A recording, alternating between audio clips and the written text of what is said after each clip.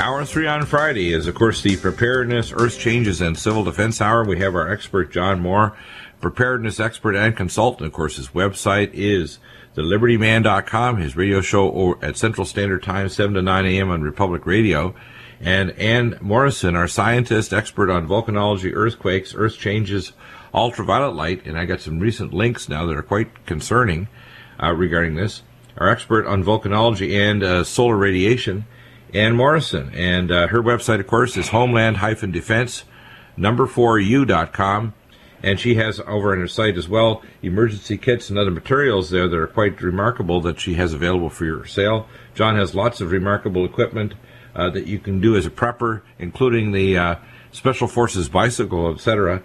And at the bottom of the hour we're having today, we couldn't have him yesterday. Chris Harris will be back, our nuclear expert and consultant, with the latest updates on the danger of a zirconium cladding uh, pyrophoric fire due to a fall of the building four cooling pool, which is up on stilts at 100 feet, and many other things going on. Welcome back to the program, John Moore, host of the Liberty Man Show over on Republic Radio. Good afternoon, sir. Well, Dr. Bill, I got confirmation earlier today that uh, at Fort Carson, Colorado, there are now 600 Russian special forces troops, they call themselves Spetsnaz, uh, on the ground in, at Fort Carson as we speak. In addition, in Metro Denver area, there have been sightings of Russian military helicopters in the air. A Russian Hind helicopter, which of course is their their heavy uh, helicopter they use for various military operations, including assault uh, and and, heli- and rocket missions, and another. As yet unidentified, uh, fairly new, apparently, Russian military aircraft uh, wearing the bright red star that the Russian helicopters wear. Wear. Um, so myself and my, my research team, my associates, uh, we, we, are very, very concerned about this. Uh, well, the very fact that they, even if it's only 600 men, the fact is this is as large as you get for special forces. The second well, is why are we training? Right. Why are we training right. foreigners on our weapons and tactics? I mean, this is craziness. It is. Uh, a full-size American Special Forces group is 600 men. Uh, so, when it, if it was infantry or armor, it would not uh, look like a lot. But for Special Forces troops, it is a lot.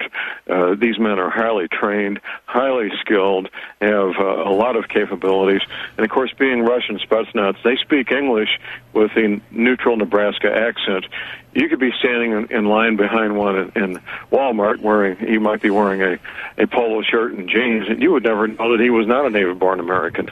Well, uh, let's so, put it this way: 600-man team could take a city like Denver or Los Angeles and take control over it, over infrastructure, uh, over everything. They, they could they could be split up into dozens of 12-man teams, each right. 12-man team capable of bringing down a city. Right.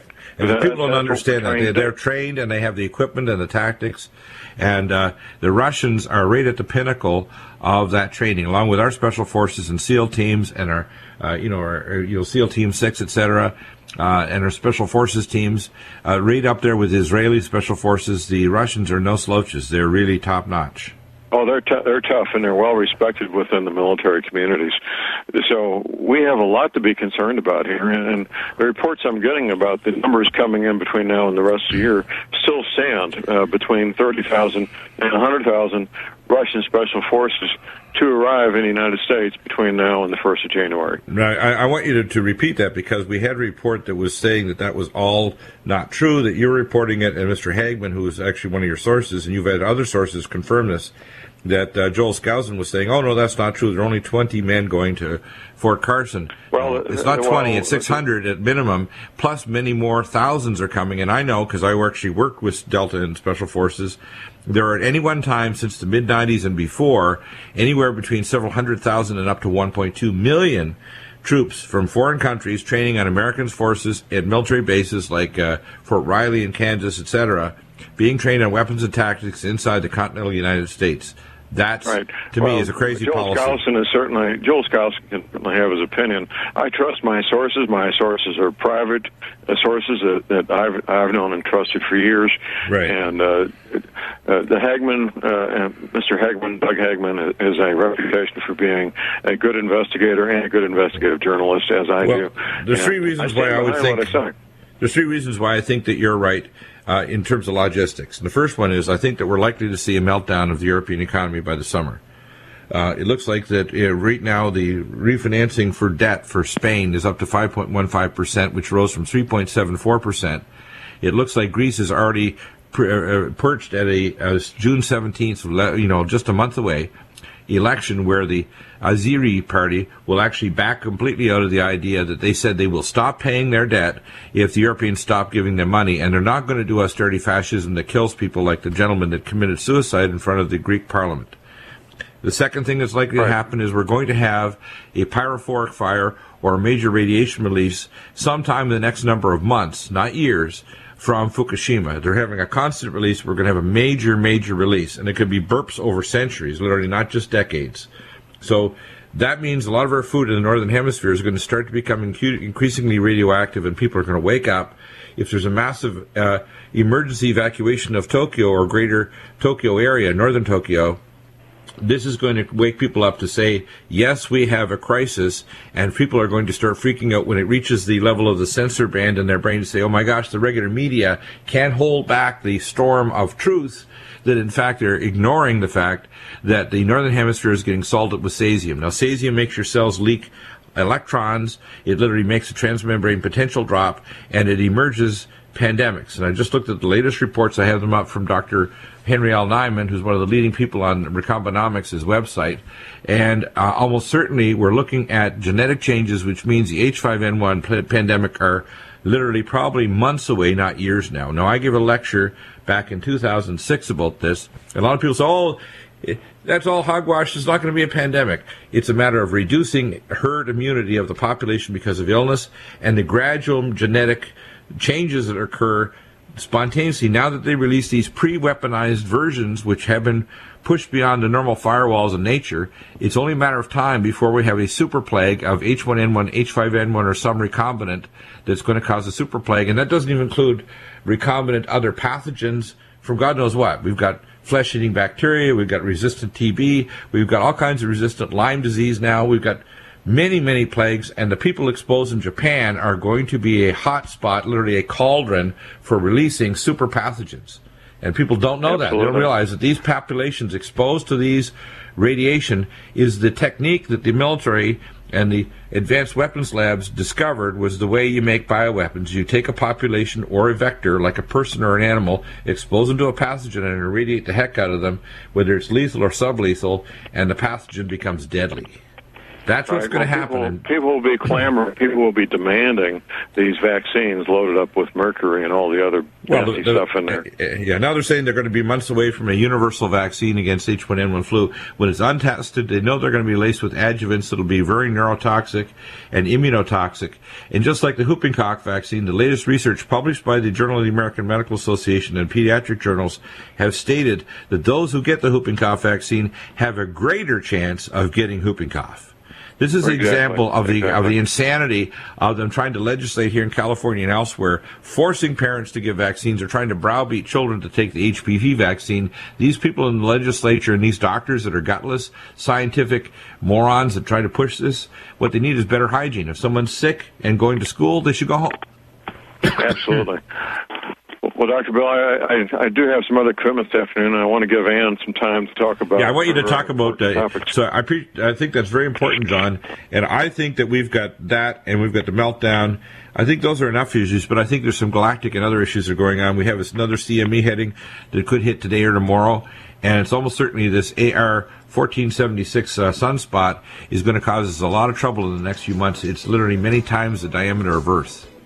Um, so we certainly I have a lot hear- on our plate and, and, a lot to get educated on, don't we? Absolutely, we do. Uh, thank you, John, for your update report. Again, visit thelibertyman.com, and of course, this show is 7 to 9 a.m. Central Standard Time, Monday to Friday, on Republic Radio, The Liberty Man. Ann Morrison, Homeland-Defense for you.com. We'll hear Ann's report on the space weather, the earthquakes, volcanoes, and UV. Now our expert on so many areas in science, Ann Morrison. And I'm putting up a link here, uvawareness.com, and it's amazing. You can key in uh, your uh, your actual, you know, postal zip code, and it'll tell you like Friday, Saturday, Sunday, Monday what the UV index is. And here in Vista, California, between 12 and 1, it's up to like uh, 9.6. And coming up Monday, it's going to be Wow. 11.2, 11.3, which Wow. that's dangerous. In other words, between 11 and 3, do not, and I'm saying do not go out in the sun to suntan unless you have broad brimmed hats, UV protection type clothing. A lot of clothing the UV light will go through, and don't don't think even if it's a cloudy day you're protected, or if it's not even hot, because 90% of the higher energy ultraviolet light gets right through the clouds like it's not there, even if it's not warming you. In the really nasty light, the UVC and UVD, which we don't even have proper meters to measure, most of the meters you'll buy out there are UVA and B. A is for tanning, B is for burns, C is for cancer, and D is for death, which means it literally suppresses your immune cells and can kill you. And people don't know that those lights are increasing because the ozone layer worldwide is decreasing and it's dramatically thinning since three factors. Number one, the decrease in magnetic field. Number two, the chewing up of the ozone layer by than xenon 133 and radioiodine from Fukushima.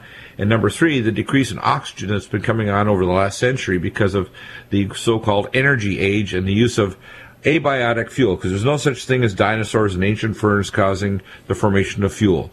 Everybody knows this dirty secret that the bowels of the earth is where oil comes from, and most of these tar balls landing up on the coast of uh, Louisiana and Alabama, Texas, are radioactive because they come from a nuclear reaction creating larger molecules deep in the bowels of the earth, many miles below the crust. That's what's going on, 40,000 feet down. Well, that, that's right, and I want people to know. In fact, those people that uh, on Monday are going to have an 11.3 UV index, um, they need to really take this seriously. Uh, 11.3, if you're outside in at any Well, length of uh, time, can seriously damage your immune system, Yeah, and it can uh, give you a serious burn, and it can Well, make you blind. Uh, well, yeah. It, it- look at this UV index. Uh, here it is. I'm just going to give you some ideas. And around the world, it says Mexico City, right now around the world, Mexico City uh, at one o'clock is going to hit 13.9, and, and, and at two o'clock 13.9 in Mexico 14, City. 14.2 today. Uh, right now in uh, Mumbai, uh, India, it, it is uh, extreme at 12.0. Uh, in Shiraz, uh, it's going to be 11.6, which is the Middle East, and at Kuala Lumpur, it's 11.4, and at 1 o'clock, it's 12.9. So the highest today is 14.2 at 2 p.m. today. 2 p.m., right? Uh, 2 p.m. today, 14.2. Like, oh my God. I mean, really, that's how crazy this is. And people, they don't realize that, and I, as I say, one of the visions that I had many years ago uh, that I saw was the crops literally turning white. And what happens is, um, our, I trained under a botanist uh, 40 years ago who was a head botanist for not only Dalhousie, but also he was at Harvard. He was also at University of British Columbia. He was one of the top botanists in the world and needed research on carbon dioxide for increasing the growth of plants. So all of the work on carbon dioxide for increasing greenhouses. He also did work on ultraviolet light, and he predicted that a major what's called UV shock of 60, uh, 45 to 50 minutes, 60 minutes, of 45 to 75 percent would kill all of our grain-forming crops and one third of the trees that are in bloom. And that's right out of the Bible. People need to know that these scientists are finding things that are confirmed by biblical prophecy. So I'm saying all you need is a major decrease, like a release of things that are going to cause a major disappearance of the ozone layer, like xenon 133 and radioiodine, a major fluctuation, a decrease in the magnetic field, which can occur literally momentarily, and a major CME, a coronal mass ejection, bringing in uh, uh, these high energy particles, and you could have your crops just zapped. Bam! All of a sudden you say, funny, the you know the wheat's not growing anymore. It's all the fields have turned white.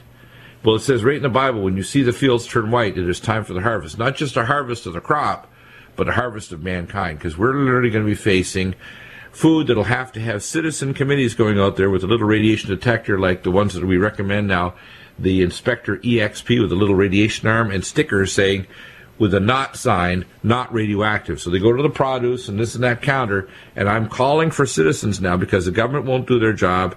You can take your EXP and walk it right over to the produce counter and put a sticker on and say, not radioactive. Because if you don't see a sticker in the near future, if there's a major release from Fukushima, you can assume it's radioactive. Uh, Dr. Bill, also I want you to know that when they calculate the sun index They use the uh, amount of moisture in the air, the uh, amount of dirt in the air, the air quality, and then the location of the sun. You know, it follows an ecliptic path. It doesn't Yeah. just go over the equator, but they do not factor in the thinning of the ozone of the stratosphere. Right now, one of the things that's going to happen this weekend on the twentieth is a, a solar, uh, a lunar solar eclipse. That's a big deal. It's the first time in many, many years, and that's going to pass right over. It's incredibly dangerous for people to go outside and look at the sun. They will burn their eyes out of their head, and they also are at high risk of getting permanent retinal damage. Tell us about that because people are not aware. We put the space weather information up on this. Even my daughter with Down syndrome is being taught in her special ed class about the solar uh, lunar eclipse. This is dangerous. People don't understand. This is how people in the ancient times looked up to the sun when the high priest said, look away, and they could look down the ground and see the, the disk of the sun and the corona around it. It'll burn the eyes right out of your head. And you don't understand that your eyes don't have protective reflexes. You cannot look at the sun and not get damaged. Yes, people might um, might think that they they can just look at it because you're just going to see a rim. You're going to see a a ring of the sun. Uh, it's not uh, it's not going to cover the whole sun. There's going to be a, what they call a a, a ring of the sun, and you think that oh well, it's just part of the sun, and so it won't hurt my eyes. It will hurt your eyes. You either have to look at your LED uh, finder on your camera, or you can uh, use a mirror to cast a shadow uh, or a picture of the eclipse on onto a wall or onto the outside part of your house, and you'll be able to see it. But Yeah, you, you want to look at it indirectly, in other words. You want to look at it indirectly. Like looking at the ground or a piece of cardboard. Or if you have a solar telescope, you can look at the solar telescope eyepiece where it'll protect you. But you need, if you're going to look directly at it, you have to have those really powerful, I think it's called number 17 welder's glass. Otherwise, don't. You will permanently damage your eyes. That's right. Yeah, and you can use a pinhole camera. I I built one of those one time. I mean, it's just you just Yeah, I've seen those. a pinhole in a box, and then I- you can see the sun on the or what's Yeah. left of the sun on the other side. Yeah, I saw it back in Nova Scotia many years ago when we had a pinhole cameras and we used those for ways. But you do not want to look directly at the sun; it's very dangerous. Uh, so, what else is happening? Earthquakes, volcanoes around the world. What else is going on, Ann? Well, I wanted to put out a warning to the uh, residents near Mount Vesuvius. There was a uh, person, a, a tourist, who um, who uh, was taken by coach to the uh, top of Mount Vesuvius, and he he got to the crater and he collapsed, and in fact he died. Now I'm attributing that to VOG, which is volcanic organic gases. By the way, that's happening out of uh, out of the volcanoes in Hawaii too. The VOG is actually the level of sulfur dioxide and nitric oxide and other dangerous pollutants is much higher than any city on Earth, downwind of the volcanoes on the Big Island of Hawaii. Most people don't realize that. Well, yeah. And uh, I think that needs to be, people need to know about that so that they can take action. Yeah, when we come back, we'll hear more too about volcanoes and earthquakes around the Earth because I expect to see superquakes, especially if this uh, AR 1476 CME, which is going to strike the Earth today and tomorrow, may trigger off some superquakes.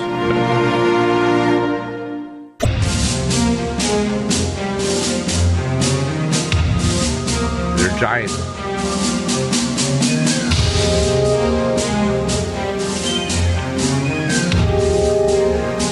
Welcome back, and uh, and tell us more. We're also uh, going to be joined by Chris Harris, our nuclear expert. So uh, let's lay the groundwork. What's happening in earthquakes and volcanoes? You mentioned about Mount Etna and the dangers there. Any other volcanoes or earthquakes elsewhere? And of course, the danger of VOG. Of course, in Hawaii, people aren't aware that the pollution is that great on the Big Island.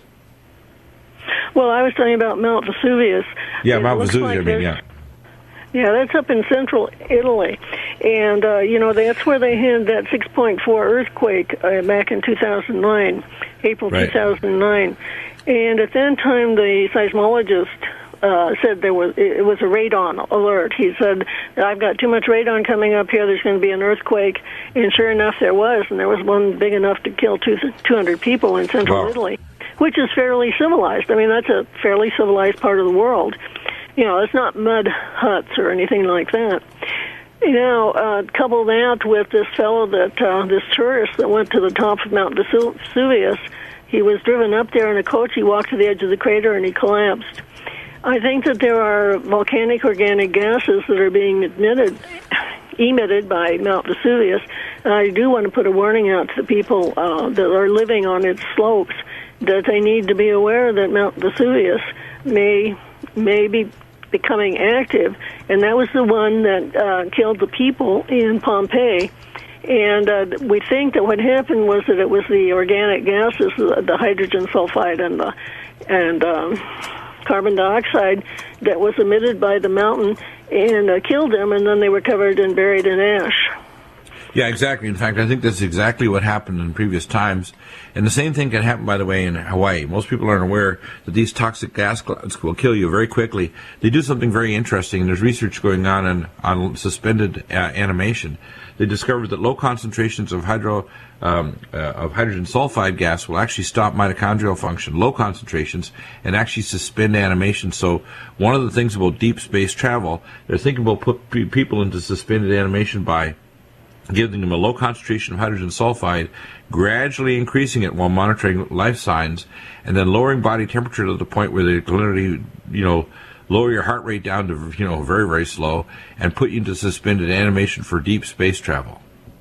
And uh, if you get it too heavy a whiff, it just kills you. It literally kills you and preserves you. And then when you get buried in ash, it, you have a very well preserved body because it doesn't normally rot. Because the hydrogen sulfide kills all the pathogens off, so you don't normally rot. Well, and that's what they found when they went into Pompeii. They discovered these well preserved bodies. Yeah, they weren't. They didn't rot. I mean, it's amazing. You say, well, you'd expect all the bowel bacteria and everything to eat them alive. No, no self-respecting pathogen can survive hydrogen sulfide. It'll kill them all too. Yeah. And uh, let's see, the other examples I have is where the Russian airplane fell, uh, flew into the site of Mount Salak, and uh, so you they said long dormant. Well, I looked it up on the website, uh, John Seach's website, and it it apparently the volcanic organic gases killed a group of um, seven children that were camping on its side uh, in 2007. So you know they don't even consider these uh, VOG as an indication of an active seismic zone for volcanoes. You know, we need to have some warning when people are dying on these mountains. It could have been that the pilot was overcome by uh, hydrogen well, I, sulfide. I think what we do need to do, just like we have in a tsunami warning center, we need to have a what's called a VOG warning uh, center with satellite and other types of uh, communications networks, including repeaters that can be set up with ham radio operators. Because if there's a major disruption of the ionosphere, of the ionosphere, the best ground-based communications is called repeaters that can repeat a signal every 50 to 75 miles by ham radio operators, and even digital uh, burps of information can be sent over this network very quickly all over the world. So we need to integrate the volcanic, uh, earthquake, and tsunami warnings and other warnings because some of the things will knock out right away the satellite-based communications, including the early warning systems, that a major thing's going to happen. Uh, the Carrington event uh, is a good example. We easily could have our normal warning systems to tell us about a coronal mass ejection coming in and a major pulse of, of highly charged uh, uh, electrons first, then the follow up of uh, protons and then plasma hitting the Earth and literally frying everything electronic on the planet, especially that's plugged in and that's not been shielded by a Faraday cage. Uh, the Carrington event, if it happened today, it happened in 1859, would fry the modern civilization and make it a pre-Tesla, pre-20th century civilization back to horse and buggy. It would be pretty devastating. Well, I think that's right, uh, and in fact, um, they, in the emergency reports that I, emergency management reports that I've read out of the federal government, they say that their systems, uh, their emergency management is based on public power being available. They have no redundancy in case public power is not available. And it, like you said, an EMP or a CME could take out public power, and then they know it, but they just, you know, there's no backup for for not having public power available in case of an emergency. Yeah, yeah. Yeah, uh, I think we have our nuclear expert now, Chris Harris. There, uh, let's talk about what's going on with the nuclear situation, Chris. Hi, Chris. Okay, Yeah, Hi, how you doing, Ann? Yeah, we, we have some, uh, I call the oh my geez, you know, the oh my gods uh, situation in terms of the danger of a pyrophoric fire or the constant release of uh, millions of becquerels of radiation per hour from Fukushima, the danger of the of the semi-liquefied uh, radioactive isotopes underneath the corium. They've never built a corium catcher, never put spider silk corium, uh, you know, tents over, never used filtration systems to properly concentrate this or turn it into a solid so they can transport it safely to the bottom of tin mines or deep mines in the earth. Nothing's been done. They've, they're talking now about a committee and of course, no one's using ground penetrating radar or gamma emission uh, visualizing systems to determine where the hell the corium is. I'm asking questions here of these scientists, and we have statements by people like Michio Kaku that says he thinks it's, quote, 100% liquefied. How does he know unless he's got a really good nuclear crystal ball? I would, would like to know, number one, with the ground penetrating radar and gamma cameras, where is the corium? Is it 60 meters down? Where is it? And is it near a water table? If it is, we're going to have hydrovolcanic explosions because of the formation of deuterium and what's called slow neutrons, which means it's going to make that critical material turn supercritical, causing a nuclear explosion. And a hydrogen explosion can trigger, just like the uh, switches, fast switches, and uh, the plastique around a nuclear bomb, this could trigger a really big nuclear explosion underground. Well, you know, being solution oriented, and we did bring this up before, uh, we would have to understand exactly the extent of the damage of the corium, where it is, the state of it, and so that we could, or somebody could come up with a, a viable cleanup strategy. Right. If, so, if it's liquid, you can even suck it out, or you can create some kind of a. 100%, you know, liquid. That, that that doesn't really do us much good. We need to get in there, just like you said, and and, and ascertain the yeah. absolute state of it now.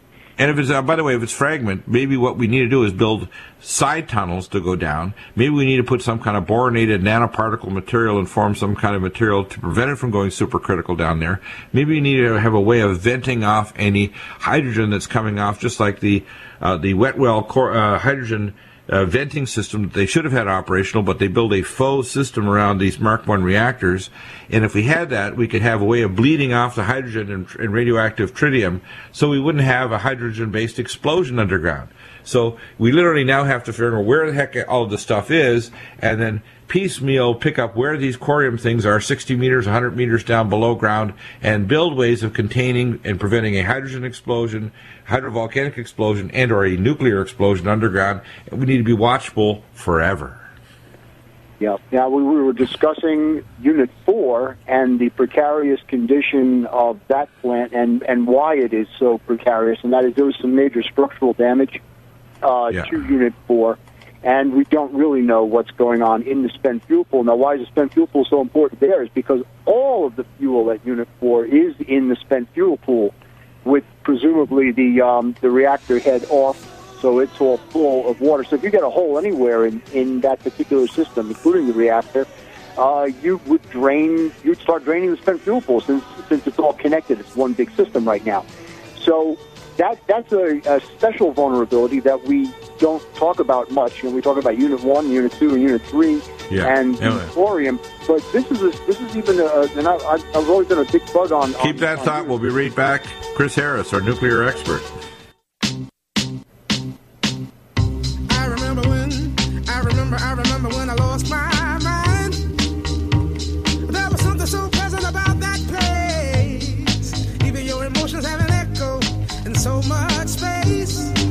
Welcome back, and uh, tell us more, Chris. What are the dangers? I see uh, two major events happening probably the, between now and the end of 2012. I see the meltdown of the economy in Europe, which will drag down our five major banks. We see the uh, J.P. Morgan losing not two billion, but it's now estimated five billion dollars, which is actually uh, part of the whole scam, raising between 700 trillion and 1.6 quadrillion dollars of debt that's been created out of thin air. That's literally resold debt over and over again. On, on top of that, we have the craziness of the Israelis saying they're ready to go, as they, Darth Vader says on some of the little video ops that they have on now on your, you get your iPad, you know, ready to go. In other words, the Israelis and the American military under Obama, who says he's a man of peace, who got the Peace Prize, they need to spell it P-I-E-C-E, pieces of nations, pieces of the planet left after he's finished. And then the third thing is Fukushima. I see our food is sequentially getting more and more radioactive. Radioactive needles now discovered along the west coast of British Columbia, Oregon, and, and there. They're going to test clams now. They found radioactive, uh, the radioactive seaweed off the coast of California. We're now seeing whales and dolphins heading south and dying by the tens of thousands with sores and wounds and eyes out of, you know, all kinds of malformations on the uh, shores of Peru. We know that these things are happening. And people want to say, oh, it's not happening. It's just an event. It's not an apocalypse. Uh, I'm sorry to tell you uh, that the apocalypse has already started. And it's going to happen in burps and waves. But what's going on is when the ozone layer is thinning like this, when we're seeing Fukushima happen like this, when we have Macondo two years ago, and people aren't still waking up and they want to accuse us as being conspiracy theorists, they need an intellectual with a kiss on their nice cheek. They need a slap in the face to say, for God's sake, wake up, because your stupidity is lethal to me and everyone else if you continue to try to drive holes in the bottom of the boat when we're all trying to bail. This is not rational. And trying to be in a state of denial when we have a crisis going on, and it'll be the same people that arrive at our doorstep saying, well, we should have been preppers. We should have had food and water. We should have been prepared to see all the crops die from radiation. We should have been prepared to know to tell our daughter not to go during the solar uh, eclipse or go up when the sun was hitting a, a uh, you know 14 and a half.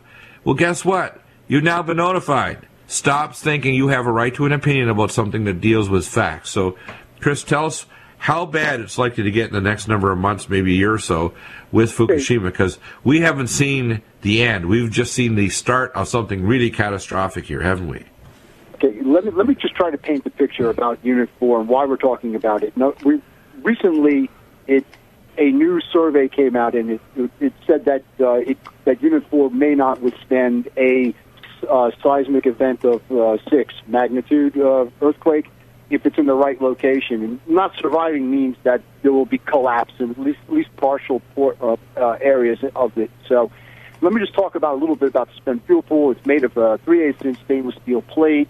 It's uh, basically a big, large box without a uh, without a top, of course, like a big open pool, but it's supported also has 35 feet deep, and about half as uh, half again as wide as that. And then what happens is the spent fuel pool is in racks at the very bottom of the pool. And they're about uh, each each rack's about 13 feet long. Now, why do you need water in that spent fuel pool? Remember, we don't even know how much damage there is in that pool right now there has not been able to get a survey in there. So how do you how do what is the water for? Well, the water first first of all is for cooling. Now we need that so we can keep a zerk uh, alloy fire that we were discussing uh, from happening. That's that's that's very important. But if you also have a lower, remember, there's like 30 feet of water above above the actual fuel. Uh, you need that for other reasons too. Shielding.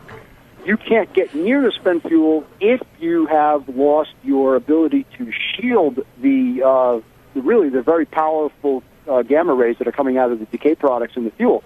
So if you lose that, the heck with the cooling. You won't even be able to get close enough to do anything about it. Next thing, of course, there's neutron absorption, and that would prevent a uh, criticality or a recriticality in some of the assemblies.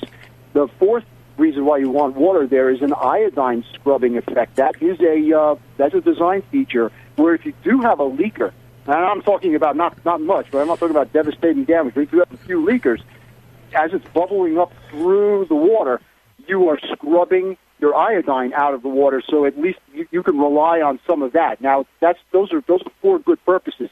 Now, going back, if you lose any one of those those functions, you you got major problems. So, if we're talking about a devastating quake that's going to take out the bottom of the spent fuel pool, and there are drains, and there are also liner plate drains, so there are drains down there that could break. I mean, it, it doesn't have to take much uh, for that to happen.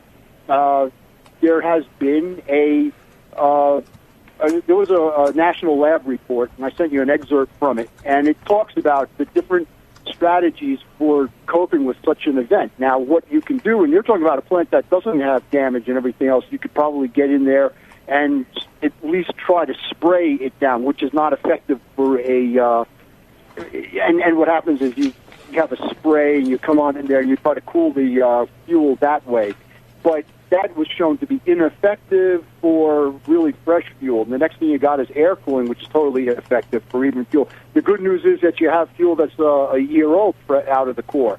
But if you have uh, but even still, there is uh, there's no guarantee that you're going to remove heat that way. And if you do get to 1700 K, which is about what, uh, 2600 degrees Fahrenheit, you will liberate, you will uh, ignite the fuel, the zircaloy surrounding each of the fuel assemblies, and you will liberate massive amounts more of, uh, well, well, first of all, of hydrogen, and we'll know what that would happen. And then all of a sudden, you'll also expose the innards of the uh, the fuel, which is actually under pressure at this point because the fusion products build up over a period of time, and it'll just spurt out, and anything inside there where the real bad stuff is, that will cause a uh, release.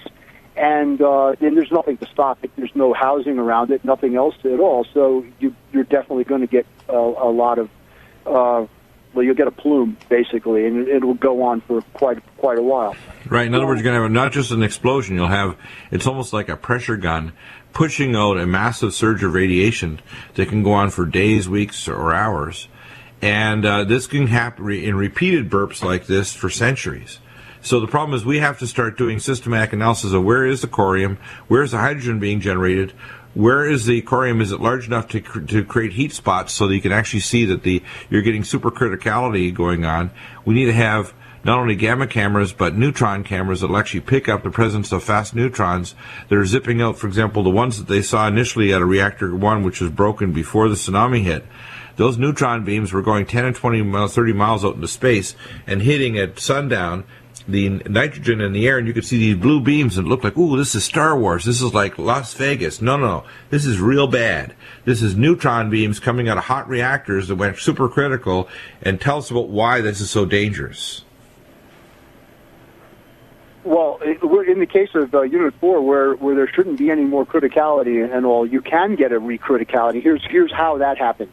Right. To prevent such a criticality, you are depending upon the actual spacing of the fuel, the spent fuel in its racks. That's how that's how that's accomplished. If you damage that such that now all of a sudden you got uh, a reduced spacing between the fuel assemblies, well, now you've just eliminated one of your guards against the criticality by by causing any spontaneous fission or any. Uh, they're, they're still they're still neutron emitters and there's still plenty. Of there's water in that area, so you'll moderate the neutron. You could actually get a criticality in the spent fuel pool, and we certainly don't want to see that because that that would be a never-ending process. That would be there's no way to shut that down, and so um, even the, you know you, you know like some of the some of the fuel doesn't have.